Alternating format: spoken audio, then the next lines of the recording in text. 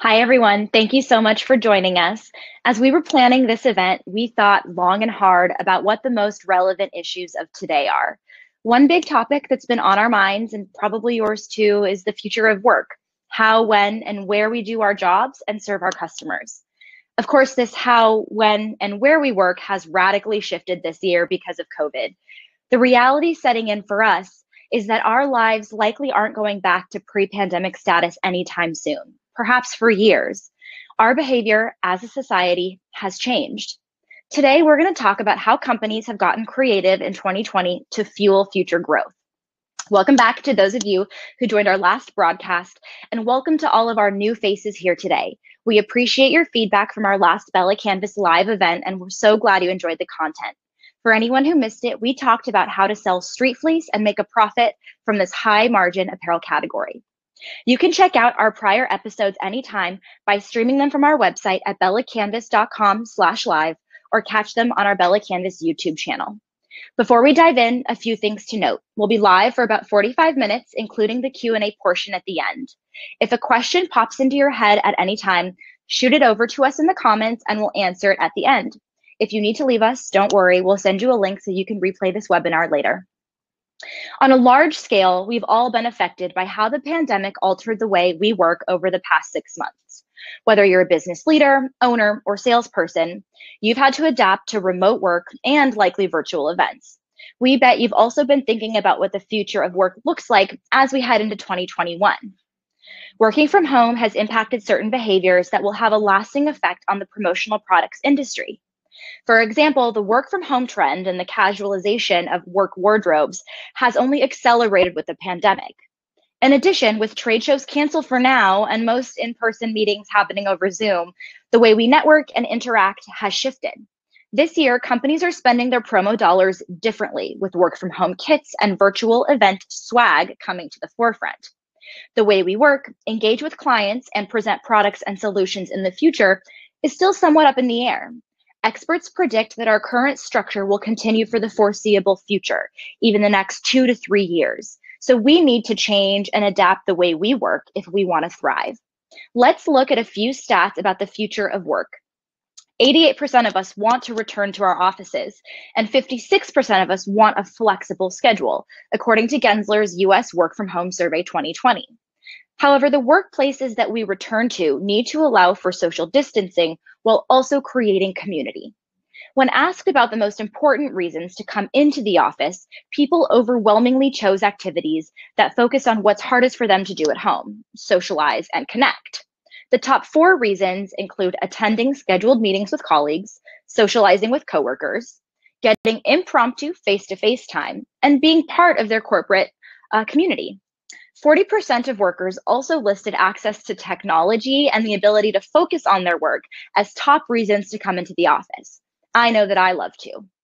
To delve further into the future of work, today we have two incredible guests lined up for you to provide real world insights about how work and workplaces will look in a post COVID 19 world, why flexibility and hybrid work arrangements will be our next normal, and how to lead and grow your business during uncertain times. First up, Bella Canvas VP Marketing Summer Berry talked with Ashley Wong Tsui, founder and CEO of GemNote, to learn how a millennial run corporate gifting company got ahead of the COVID curve by providing solid solutions to clients who canceled in person events. Then you'll hear from Sandeep Mathrani, the new CEO of flexible office space provider WeWork, to get his take on how COVID has hugely disrupted the traditional concept of office space and what we can expect to see in the near future. Our first guest, as I mentioned, is a young entrepreneur in the promotional space who's managed to lead and grow her company during a pandemic. In fact, she hasn't laid off a single team member and has actually hired new employees to support her growth.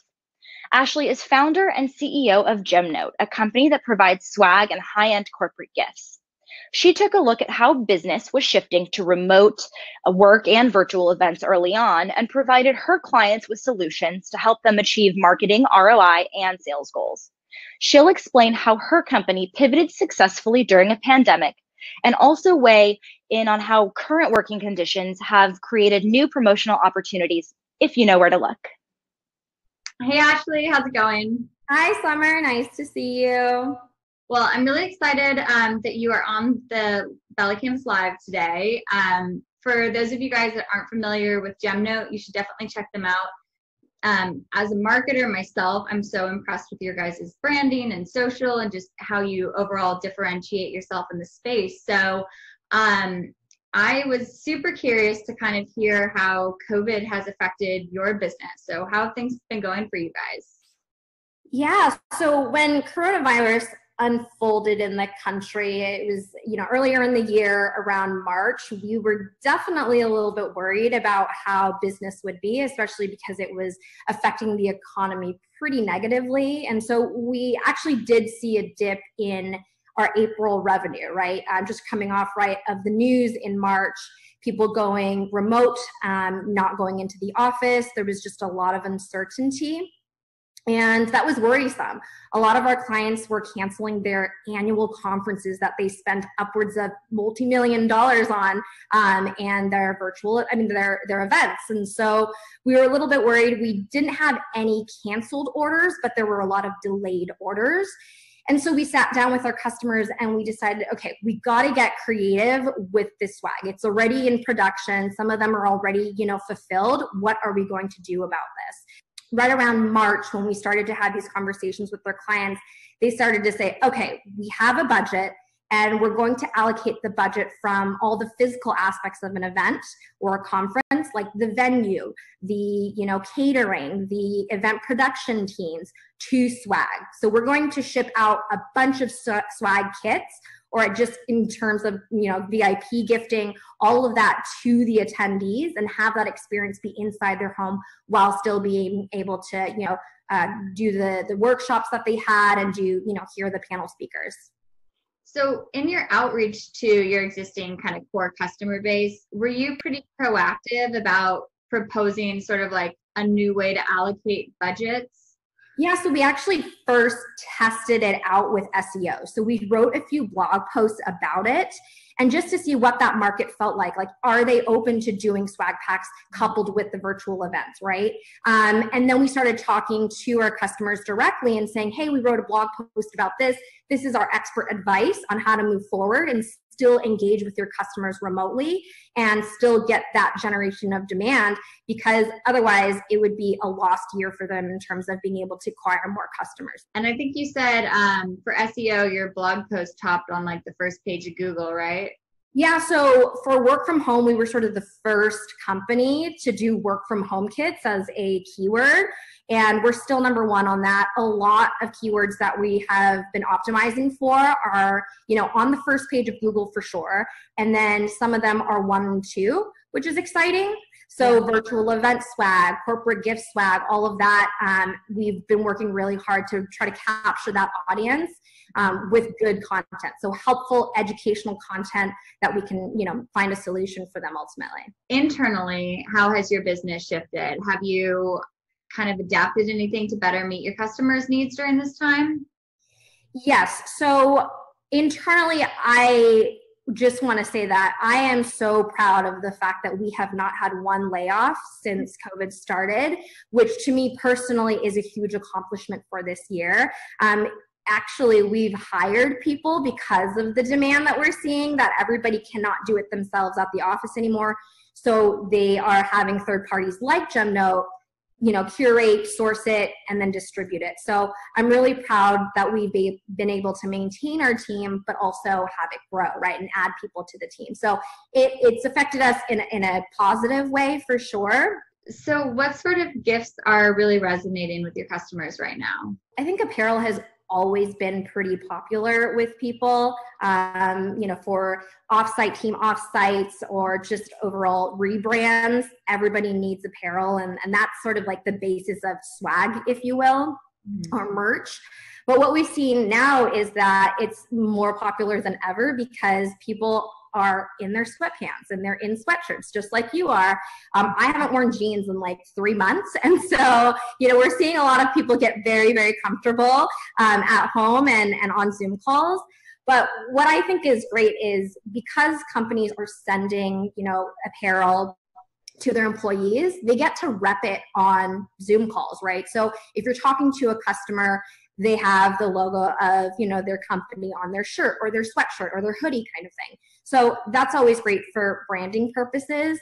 I know for us, when we talk to our customers and we have things even on our desk that are like it's a mug or a tumbler that we want to sell because we think it's great, it's you know great testimony to be able to say i use this every single day or i wear this because it's so comfortable so that's really exciting i, I totally agree i feel like using zoom as an opportunity for almost product placement is is just so smart and it's like you have less face time with customers than if you would like go into a meeting but there's also kind of more opportunities for that like organic sort of plug that goes a long way what's your view on how the industry will change the next two years? I know you might not have a great answer for, for that, but if you had to kind of predict the future.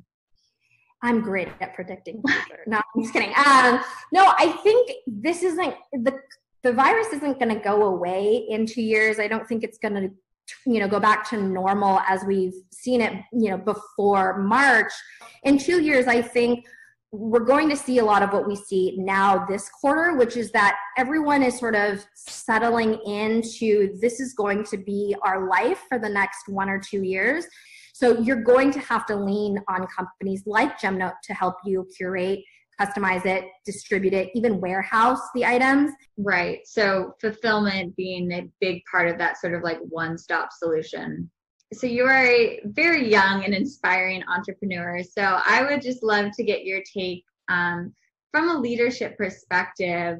How are you sort of thinking about team morale and being sort of a cheerleader for your team going forward and you know through these uncertain times.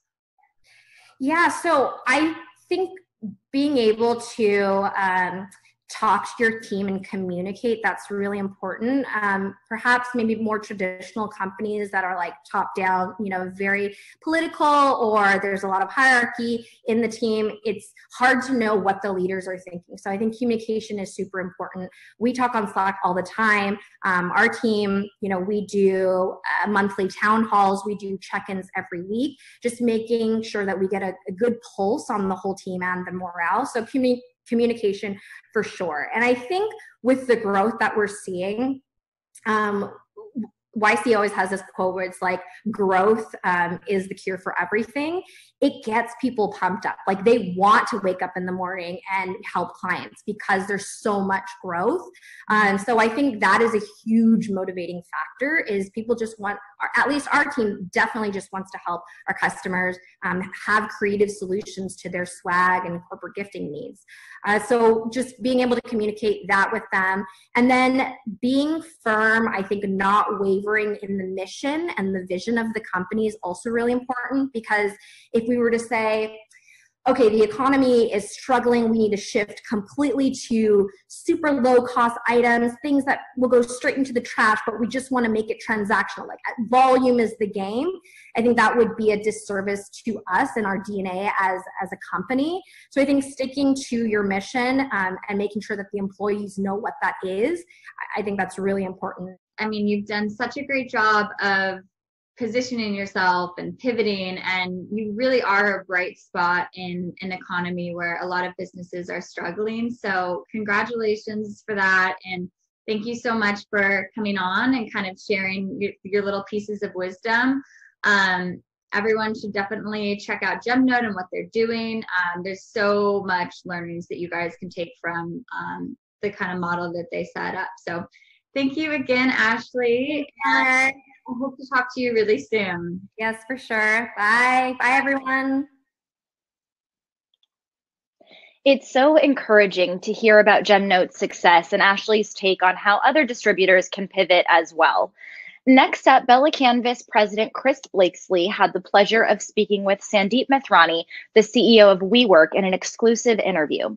Sandeep probably spends more time than anyone thinking about the future of work, particularly how and when people will return to office spaces. No doubt it's going to look different than before.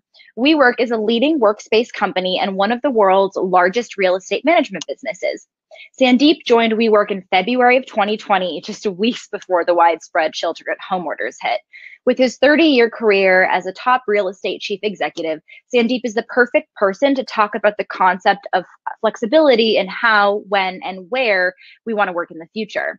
That includes creating workspaces that promote safety, collaboration, and community. Well, hi, Sandeep. How are you? I'm very well, thank you, Chris. How are you doing? I am, uh, all things considered, I'm doing great. Interesting world we're living in. Sandeep, I, I'm guessing that a lot of our uh, participants today know uh, I've heard about WeWork. I thought it might be good just to set a foundation if you could talk a little bit about what WeWork does and how it's kind of differentiated in the marketplace. So let me go back to history a bit, only because the company is only a decade old. Uh, you know, we started in 2010, uh, and in a way to disrupt uh, office space. Um, it, it, was the way to be Spotify versus Napster or uh, iPhone versus Nokia, as I can relate to other industries. And it was really uh, based upon the ability to create small businesses coming out of the recession, a place to go reinvent themselves with the hopes of eventually being actually a marketplace where you could support an ecosystem of small businesses uh, based upon being in a in a in a similar environment. But on average, by the way, people only go to their offices 60% of the time. This seems to be a new revelation. But if people reflect on their own uh, methodology of working, they would see that they actually travel quite a bit or they're offsite quite a bit. You know, I would not have guessed that your business is shifting more toward enterprise type customers and bigger businesses. Why do you think that is? Well, for multiple reasons. One is as companies scale, large companies themselves scale globally, and we're able to put them in business, you know, relatively overnight. Being in 800 locations in 150 cities around the world, we provide a lot of flexibility. Uh, and I think the word you'll hear more and more is uh, we look at it for our own lifestyle. Right? We want to be flexible on how we want to come to work, how many days we want to come to work. So that word flexible is now very ingrained in people's mindset. And, and as they view us as a partner in that flexible space, they tend to migrate towards us. Sure. No, that, and that makes a ton of sense. And one of the things I'm, I'm excited to dig into with you is your perspectives on how that return to work happens. But you joined WeWork as the CEO back in February, uh, only literally weeks before shelter in place orders started running across the United States. Could you ever have anticipated what happened and how has it changed your thinking as a as a new CEO in the business on how you position it, how the world is likely to come back to work? Adversity, you know, provides uh, is the mother of all invention. Provides solutions, right? Never waste a good opportunity. You've heard all these phrases, and it truly becomes applicable when you look at a situation like us. We had a very good balance sheet. We had a very good brand. Okay, mm-hmm. we had bad press uh, because of a you know of a IPO that did not happen. So when you get into COVID, you are able to take a deep breath, you stop, okay, and you start to look at the portfolio, look at the people. So we were able to streamline the organization in a six month period. Without COVID, it could have taken us 18 to 24 months. And, and so as we now start to return to work.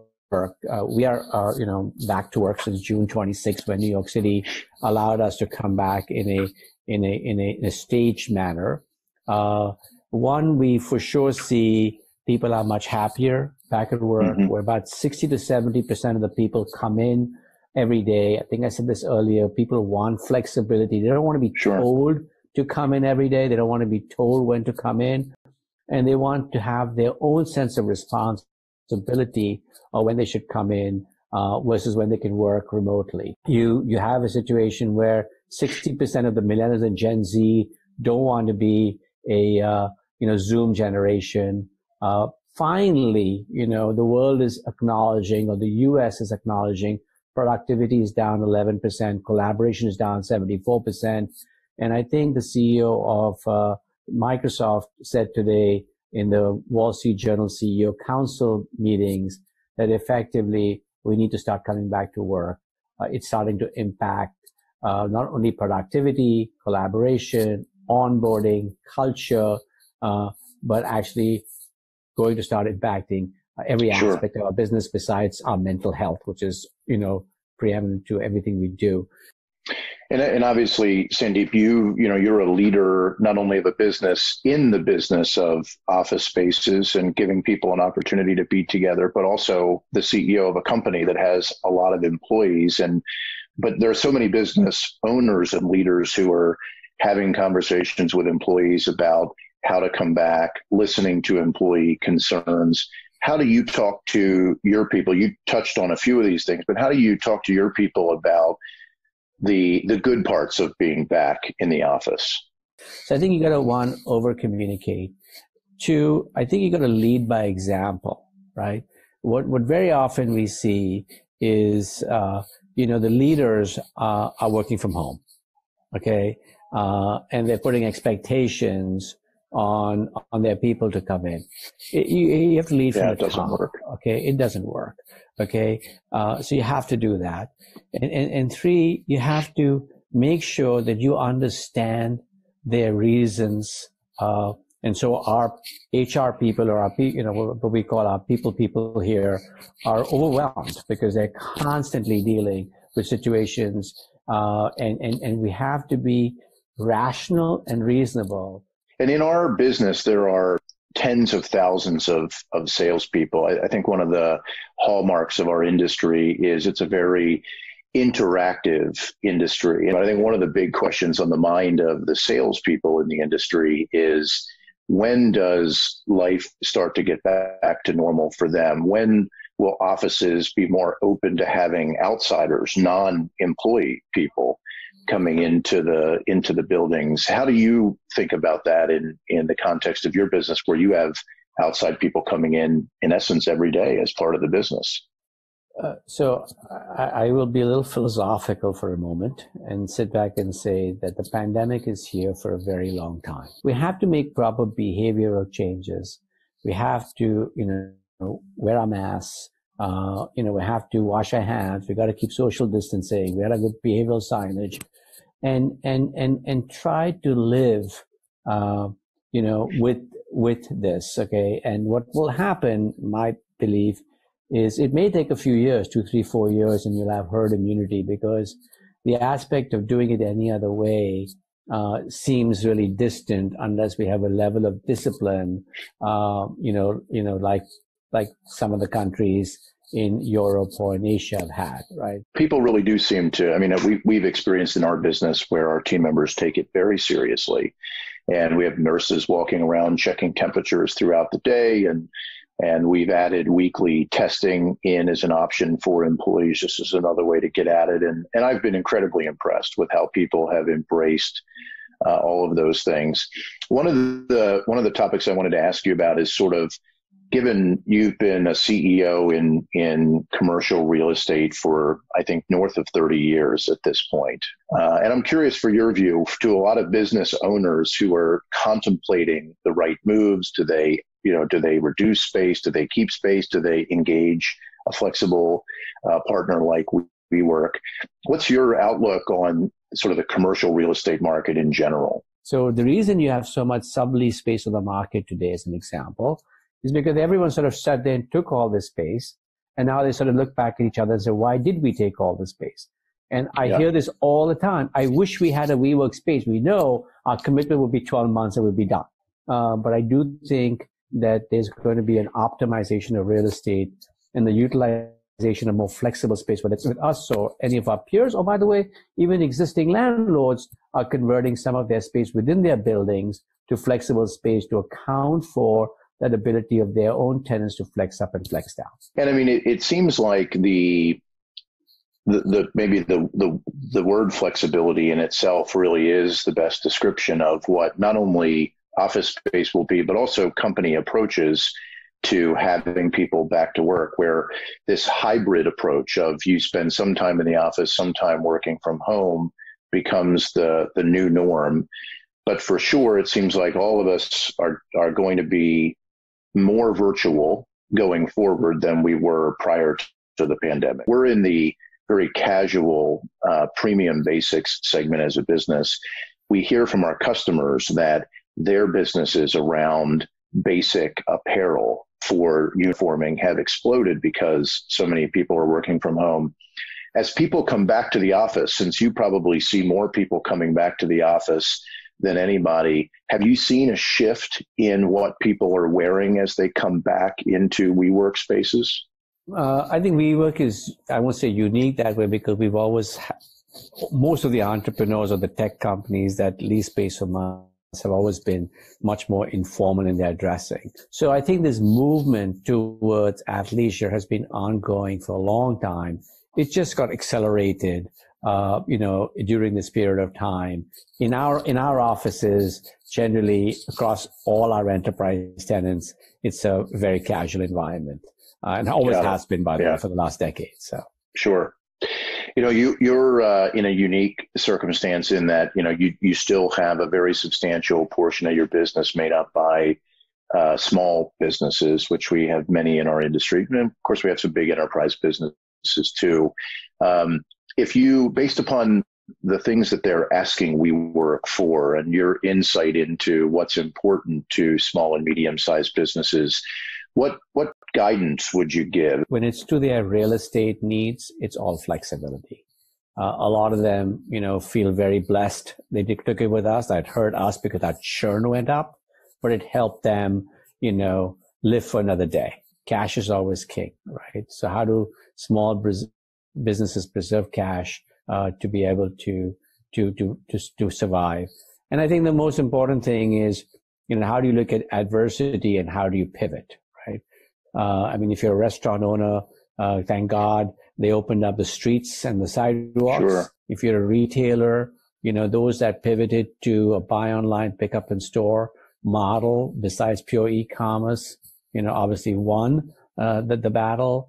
Uh, and so, I, you know, my, my entire life, you know, even on a personal basis, I, my favorite word is how do you keep pivoting, right? Uh, you know, sure. And then I and then I joke and I always sit back and say, when you're four years old, you can bomb a ski mountain, or you can go straight down. When you're 58 like me, there's a reason they're S curves, right?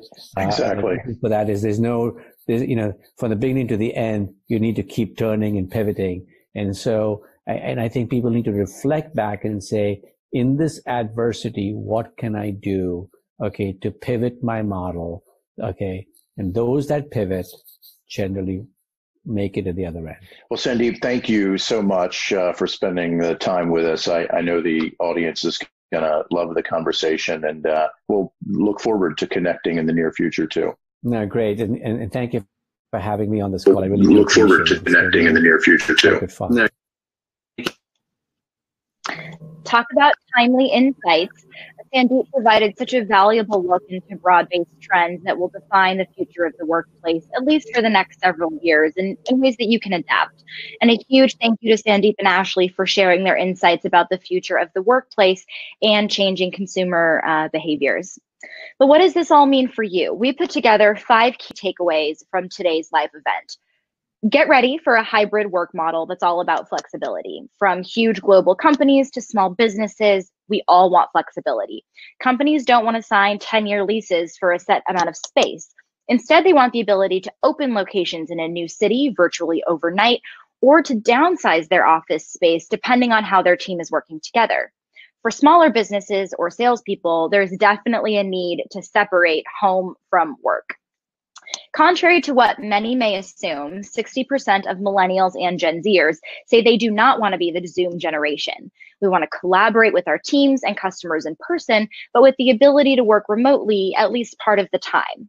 There's also recent evidence that companies are starting to see work from home conditions affecting overall productivity and having a negative effect on the ability to onboard new hires and grow corporate cultures. Now is the time to think about how your team will work together over the next six months to two years. What does that look like for your company? It's all about optimizing your physical space and technology to match employee needs, along with your overall mission and goals. That includes flexible schedules and space. Companies want to be able to open up their workspaces to employees to allow for social distancing and also reduce that footprint in certain locations when needed. Become the kind of leader who inspires others. Both Sandeep and Ashley talked about the importance of leadership, especially during times that change almost everything that's familiar to us. From the top down, it's essential to communicate early and often with your team. So ask yourself when employees come to you with real concerns and situations, how are you addressing those while still staying true to your company's vision and goals? Sandeep also loves the idea of leading by example because it sets the stage for bringing people back into the office if you're working at home full time. How can you really set the standard for team members as they return to the office? Just putting the proper safety procedures in place, like taking temperatures, wearing masks, and social distancing, is part of the equation as uh, you make your team feel comfortable. Ride the work from home wave with branded apparel and products. As we've been saying, the apparel industry felt the pandemic's effects on revenue and demand in April, but started to rebound in May. Why? Well, as we've touched on before, the trend towards casual dressing at work and at home accelerated even more this year because of COVID. Athleisure and streetwear styles gain even more fans the longer that we work remotely. There is definitely business to be won in the promo space, and companies like GemNote that starting pitching new ideas like work from home kits early on are seeing that success. How are you looking at the ways your customers are working now and brainstorming merch solutions that enhance their lives? It's also about saying to your clients, how can we creatively use your marketing budgets to actively engage your customers or event attendees? Events may be virtual for a long time, Although companies are canceling multi million dollar events left and right, many still have meaningful budgets to work with. Continue to reach out to customers with solutions. Many companies are switching to lower cost virtual events complete with swag packs and VIP gifts that give everyone attending a great experience from home. GemNote showed up as a one stop shop, a team that could curate, customize warehouse, and fulfill the merch and gifts without their clients having to really lift a finger. Even cooler, companies that couldn't afford to host in person events can now tap into the power of virtual with branded merchandise. So use this as an opportunity to go out there and grab new business. Lastly, focus on future growth. As Sandeep said, uh, adversity is the mother of all invention. And Ashley mentioned that growth is the cure for everything right now. Are you focusing on your company's growth or are you caught up in the pandemic panic? Keep coming back to your company's core values and coming up with new ways to keep your team engaged and your customers happy. Okay, everyone, we'd like to kick off a Q&A with Ashley and Prab, head of global marketplace from WeWork. He's standing in uh, for Sandeep, along with myself. And for those of you who don't know or haven't been on here before, I'm Megan, VP of Sales for uh, Bella Canvas. Hi, Ashley. Hi, Prab. Hi. Hi. Thanks so much for joining us.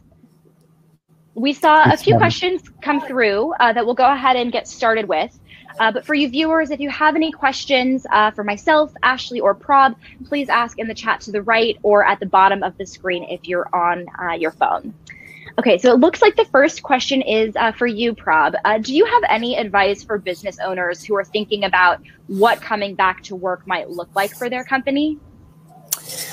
Yeah, sure. I mean, I, I think first of all, all the advice that you gave was spot on in terms of how we're thinking about everything. Um, you know, we we came back to work um, in, in mid June, which was pretty early for office workers that WeWork. Mm-hmm.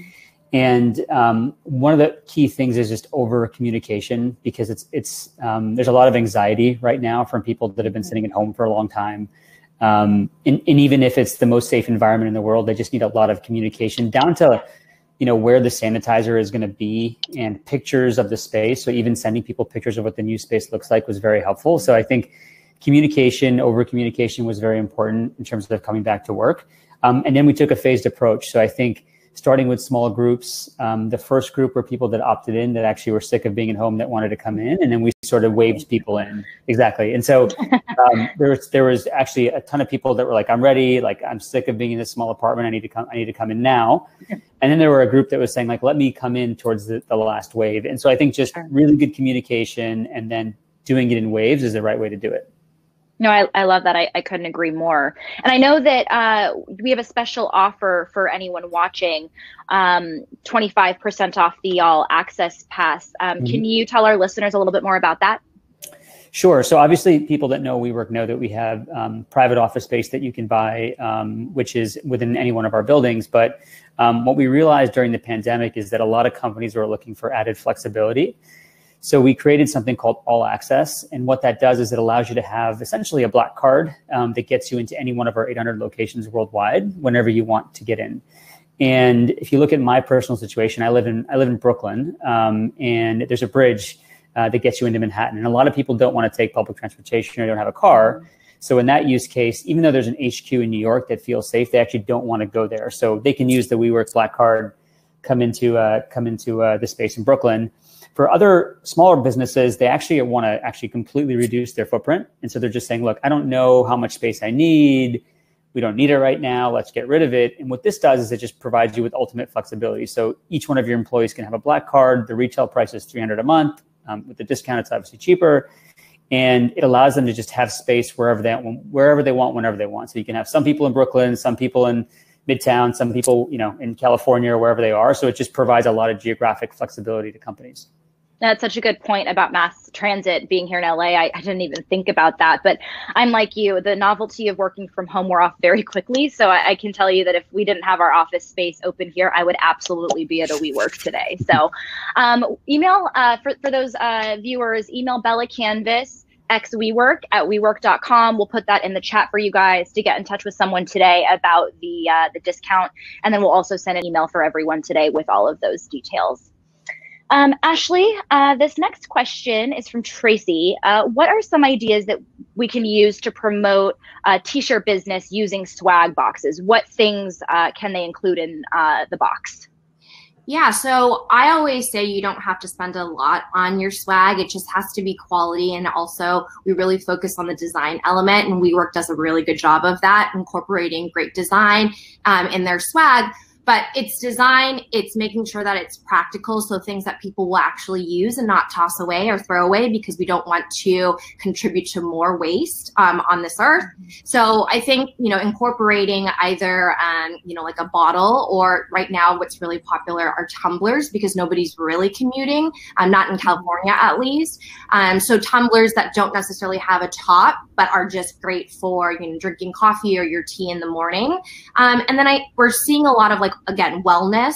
So anything that has to do with you know either um, like indoor plants or something like that small air plants i think is really nice or you can have at your desk um, either at the office or in your home. So those are just small ideas um, that you can incorporate with apparel and they're not expensive at all. I love that. Love the plant concept too. Uh, another question for you, Ashley. What's your advice for small brands? So I assume they mean probably don't have a lot of budget um, when they would like to curate items for their customers. Yeah, I would say it's this is along the same lines, which is just don't spend so much money on swag if you don't have it. If you're a small business and budget constraint, you don't want to blow all your cash on on swag, right? Um, so I would say again, focusing on the practicality of the item and then also just making sure that it's designed well. You can have something that is lower cost, but can look really awesome and cool if you just make sure that you spend a little bit more time on not just, you know, putting your logo on there, but can we incorporate illustrations or design elements from your brand guidelines? Like that's really important. That makes um, the brand speak to, you know, beyond just the the logo. The messaging, the story. Absolutely. Yeah, no, exactly it creates uh, creates that feeling. It does. Yeah. Okay, uh, Prab, another question for you. Is returning uh, to the office the best way to improve uh, collaboration from your experience? What about regular small group check ins? Um, how do you guys see businesses using the space? Yeah, I mean, it's, it's, um, first of all, as, as you probably heard, I mean, this is like the largest work from home, remote working, hybrid working experiment that's ever happened. So, yeah. like, every, every week there's something that changes in terms of how people are learning to work. But I mean, what I see happening is that it, it's definitely we're definitely going to move to a place where um, the way people used to work is going to change in some ways. So like I don't think you'll have um, at least for the near future people coming in necessarily every day, but I do think that there's going to be a return to work, and it may be something where people are more intentional about why they're coming to work. So whereas you might like if you had a job where you were just sitting at your computer all day and didn't talk to anybody, you, maybe you might as well do that at home. But when you have to collaborate with people, when you're thinking about anything related to productivity, innovation, even networking, like those things make a lot of sense in person. And so I think it's about being more intentional about the times when you need to be in person and the times when maybe maybe it's just heads down work, you can actually be at home. So I think it's about you think you're going to start to see shifts in the way people think about their calendars. Absolutely, and finding that balance as well. Exactly. And um, let me see, uh, Ashley. Question for you. You mentioned that a lot of your customers have moved from physical events to digital events. Um, what are some of your your favorite or the coolest virtual events you've seen? Yeah, so we recently did one for Google and it was their international summit for their design team. And as you can imagine, that's probably like over a thousand people internationally. And instead of going to um, a, a venue in California where they fly everybody out and you know it's a it's a huge conference for them, it's internal.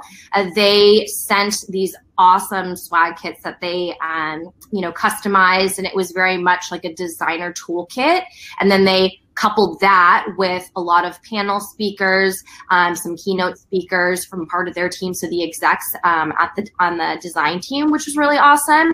And I think with design, it's very much like an in-person collaborative experience, right? Like you know, usually you do that in a conference room, you know, whiteboarding. Um, but it was interesting to see how they use different tools within the Google Suite to be able to share, you know, um, some of the, the findings this year and what they can look forward to next year. So I thought that was a really fun virtual event, which would be very much, you know, a, a conference that's in person. And for a company like that, I mean, that's a major investment. Do you know, as, as far as measuring ROI, is it is it metrics driven or is it more qualitative feedback? Because obviously everyone's transitioning to this uh, for the first time. Do you really know how they're looking at that from like, okay, this was a success, this was worth it, let's invest those dollars again in a similar way? Yeah, I think attendees is really because it's an inter- internal event, and so how they're you know making sure people are engaged, making sure that you know everybody is signing on to these workshops or these um, these speaking engagements. So I think in terms of that, they're definitely trying to measure, um, but mm-hmm. also just the success of the actual kits and um, getting that experience at home versus having to go physically and travel. I think that takes a toll on a lot of people, um, especially people who are traveling internationally. So that was a really great experience for them that they could, you know, collaborate with their team members, hear from their execs from their home, right? So so that was great. Fantastic. Um, let me see. Uh, uh, Prab, question for you. Uh, in the WeWork space, are you seeing any new types of companies come to WeWork or demographics? And what would be an average, um, what would be an average uh, size company that you see at WeWork uh, today? Yeah. Um, well, we, we actually have a solution for pretty much everything from an individual freelancer all the way up to, to, to Google and Amazon, who are all our customers. Um, so I mean, the, the space really is is broad in terms of the average customer, but um, about uh, half of our membership is actually small business, um, and um, what I've seen through COVID is a lot of different things. Um, we've seen uh, teachers looking for space uh, because they're doing virtual learning and they can't do it in their apartment. We've seen mothers that want to bring their kids to somewhere outside their space. So we've seen some interesting like consumer use cases like that. Um, we've seen companies, uh, smaller companies that are trying to just do some of that collaboration stuff, use some of those access and on demand products where it's lower commitment and they can all just kind of have a, a space to collaborate in. Um, I, I think in the beginning, there was this sort of worry that small businesses were going to be completely stuck and they never go back to space. But, but I think that's not at all what we've seen. Um, we've actually seen it pretty robustly happening where small businesses are saying like, in some ways you're seeing a lot of innovation where people are starting businesses now. So um, I guess that's one small trend we've seen is that the small the small business side of our business is pretty robust and it hasn't changed. Interesting. I think for a, a lot of our industry, uh, they are small businesses. So to understand how they can really leverage and, and tap into this solution is is really helpful. I, I Ashley, it, oh, oh, sorry, please. No, pl- please. I was just going to say, for, from a small business perspective, I think the key message for for WeWork is really just like you can start very very low. And so like if you're in a place where you're like i don't want to pay for a 10 minimal investment space, it's yeah. just like start at the bottom everything's taken care of for you. And then as you grow you can decide whether WeWork is for you or you want to get your own space or whatever else you want to do. Absolutely. Well thank you so much. Ashley i know you had a hard stop at 11.45 one last question for you. I know we talked a lot about the work from home kits. Uh, what's your favorite uh, kit outside of that that you've done A favorite kit? Um, I would say let's see that's a tough question um i would say what's really popular right now are like diffusers so we have a couple of brands, but Vitruvi sort of pops out in my mind, which is it's um, you use essential oils to put you know into a diffuser, and yeah. then so you know clears the air, makes it smell really good. Um, so again, like working from home, at least our team is working from home. We like to use that just again to make sure that like your you know environment is a pleasant one and well wellness, and, yes, yeah, exactly, well, very yeah, very much so. And I think that has to do with the, the, mental health. So our team is actually has been much more productive at home and actually working longer hours. So we're having to combat that and not having them, you know, burn out. Um, so just making sure that we're supplying them with all the supplies that they need, but also what are things that could delight them in the day and get them really mm-hmm. motivated mm-hmm. to work. And then, you know, at night to, to sort of calm down and make sure that they're refreshed for the next morning. So yeah, a diffuser I think is really great.